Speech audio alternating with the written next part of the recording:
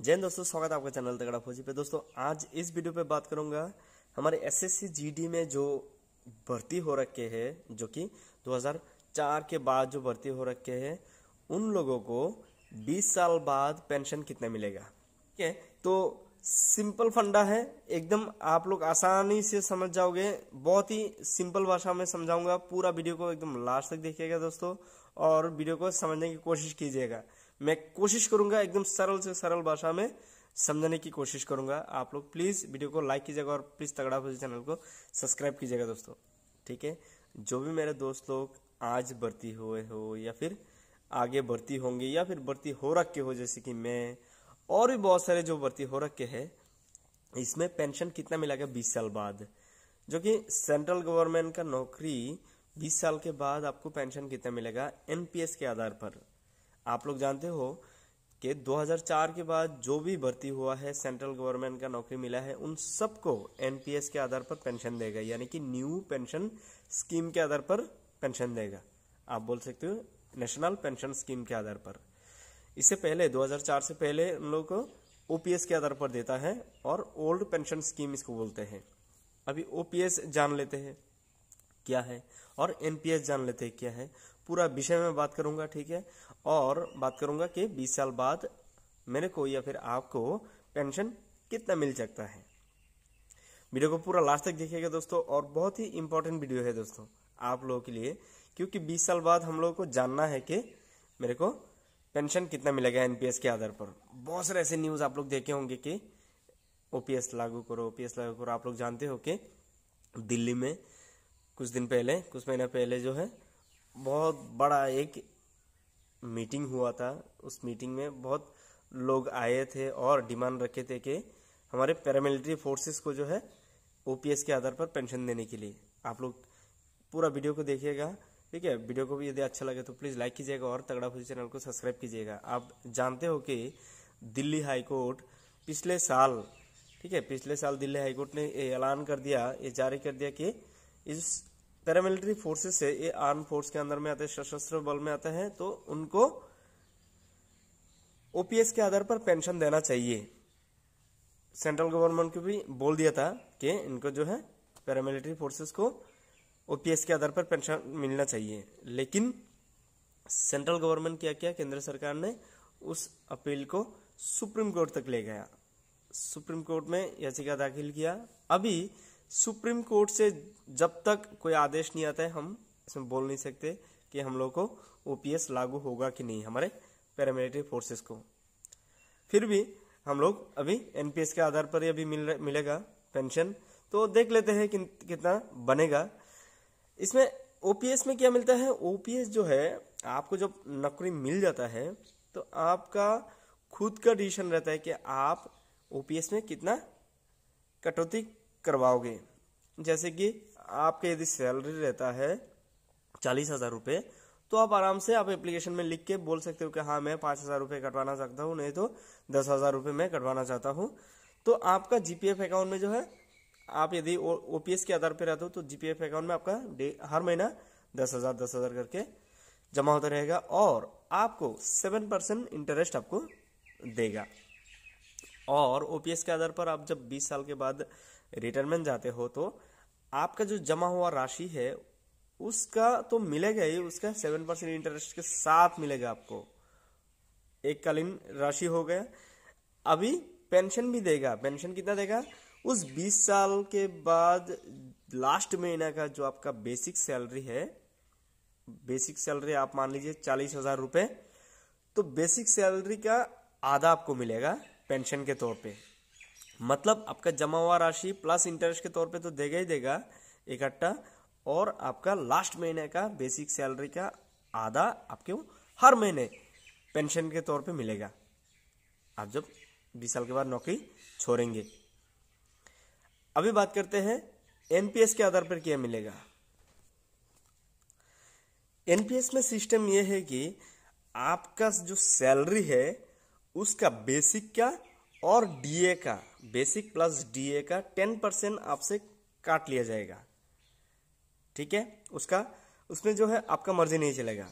आपका basic plus DA का ten percent आपसे डिडक्ट होगा और सरकार भी इसमें कंट्रीब्यूशन देगा। सरकार भी चौदह परसेंट आपको देगा बेसिक प्लस डीए का। अभी बात कर लेते हैं। किसी भी मेरे दोस्त का जब नौकरी लगता है, अभी आपका बेसिक कितना होगा? इक्कीस हज़ार सात सौ।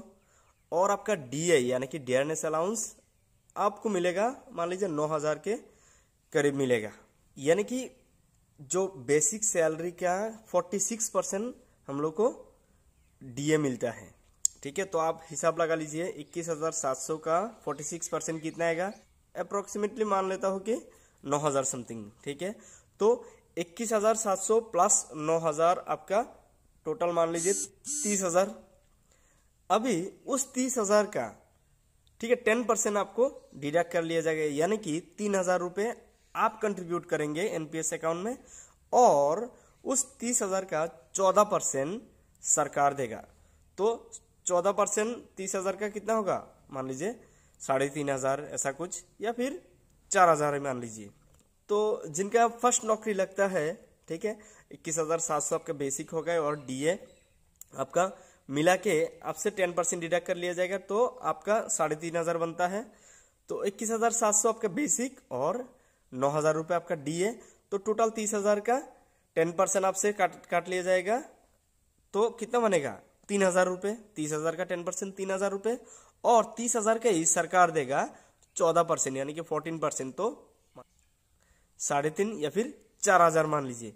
तो चार हज़ार और सरकार देगा चार हज़ार और आपसे काट लिया गया है तीन हज़ार। टोटल सात हज़ार के करीब आपके एनपीएस के अकाउंट में ऐड होता रहेगा हर महीना। ऐसे क्या होता है? सिस्टम वाइज अभी देखिए, छह महीना बाद आपका डीए बढ़ेगा तीन परसेंट।